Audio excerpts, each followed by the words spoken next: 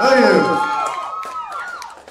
My name is Damien Short, and this great band behind me, I've got Justin Clinton on the guitar, Marc Dragoo on bass.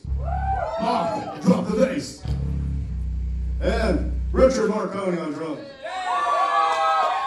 Yes, ladies, he is single and he's on the prowl.